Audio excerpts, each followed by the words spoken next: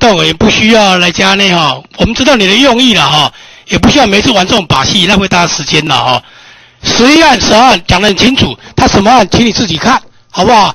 今天不是只有一个十一、十二，他因为条文那么清楚了哈，所以内容是什么？哦，我这里就根据我再讲一次，根据立法院程序委员会组织规程第四条里面的第一项的第二款，我关于议案。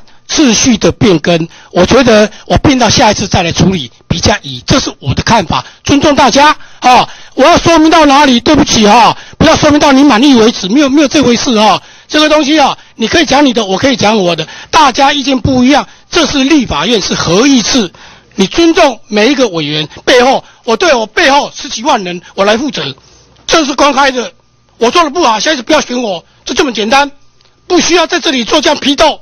我不接受。